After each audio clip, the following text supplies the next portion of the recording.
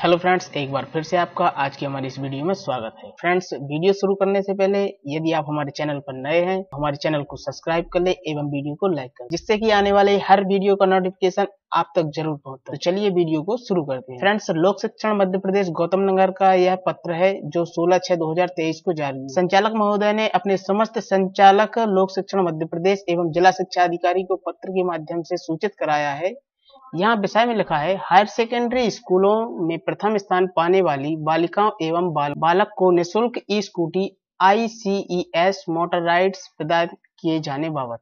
और नीचे लिखा है विषयांतर्गत पत्र के संबंध में शासकीय हायर सेकेंडरी स्कूलों में प्रथम स्थान पाने वाली बालिकाओं एवं बालकों को माननीय मुख्यमंत्री जी की घोषणा क्रमांक सी बीस सैतालीस के क्रम में बारहवीं क्लास में टॉप करने पर विद्यार्थियों को मिलेगी। निशुल्क ई स्कूटी योजना अंतर्गत प्रारंभिक दिशा निर्देश प्रारूप पत्र के साथ संलग्न है। नीचे यहाँ इनके दिशा निर्देश दिए गए हैं। इस योजना का लाभ मिलेगा। पूरी जानकारी नीचे दी गई है। आप आवेदन कैसे ऑनलाइन कर सकते हैं, हम आगे पढ़ लेते हैं। उक्त योजना के संबंध में वेबएक्स पर आज दिनांक 16 छह 2023 समय चार बजे आयुक्त महोदय द्वारा इसके ऊपर चर्चा कर ली गई है। ये यहाँ बताया गया है सोलह छह को।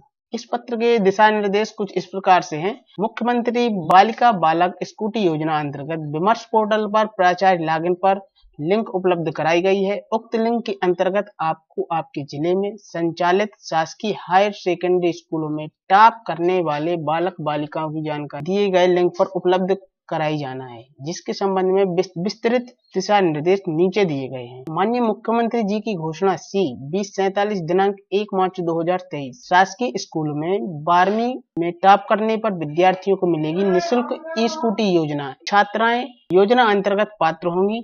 जो प्रदेश की शासकीय हायर सेकेंडरी शाला में नियमित विद्यार्थी के रूप में अध्ययन कर माध्यमिक शिक्षा मंडल एमपी बोर्ड द्वारा प्रत्येक वर्ष आयोजित हायर सेकेंडरी कक्षा बारहवीं में अपनी शाला में प्राप्त किया हो। विमर्श पोर्टल पर आर एम एस लागन के अंतर्गत मुख्यमंत्री बालिका बालक स्कूटी योजना अंतर्गत शाला का डाइस कोड शाला का नाम, मंडल कोड एवं शाला का प्रकार अंकित किया जाना शाला के प्रकार में कन्या कन्याशाला बालकशाला सह शिक्षा का चयन किया जाना है। शाला के छात्र छात्राओं के नाम के साथ उनकी जन्म तिथि एवं कक्षा बारहवीं की अंक सूची पर अंकित अनुक्रमांक एवं कुल प्राप्तांक दिए जाने हैं। इसके अंतर्गत शाला में सर्वोच्च अंक प्राप्त करने वाली एक छात्रा और एक छात्र का नाम मेरिट नंबर अंकित किया जाए यहाँ सिर्फ़ एक शाला से एक छात्र एवं एक छात्रा को ही स्कूटी मिलेगी, जिन्होंने अपनी शाला में प्रथम स्थान प्राप्त किया है। एक छात्रा एवं एक छात्र। उदाहरण, अगर शाला सह शिक्षा है तो कक्षा बारहवीं में किसी भी संकाय में सर्वोच्च अंक लाने वाली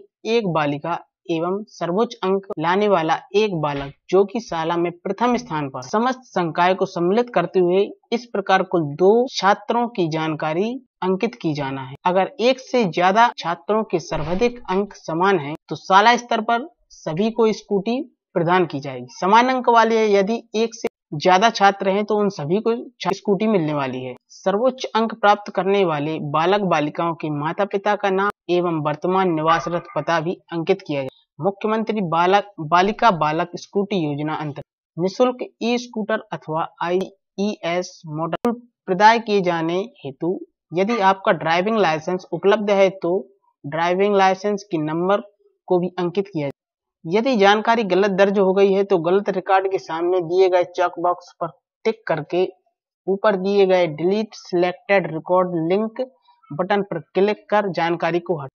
उक्त जानकारी हायर सेकेंडरी शाला प्राचार्य द्वारा विमर्श पोर्टल पर अपने लॉगिन से अंकित की जाएगी, जिसका प्रमाणीकरण जिला शिक्षा अधिकारी द्वारा किया जाए तो जितने भी छात्र एवं छात्राएँ कक्षा बारहवीं में प्रथम स्थान किया, प्राप्त किया है अपनी शाला में तो अपने प्राचार्य को सूचित कराएँ, यदि उनको जानकारी नहीं मिली है, आप भी इसका लाभ लें।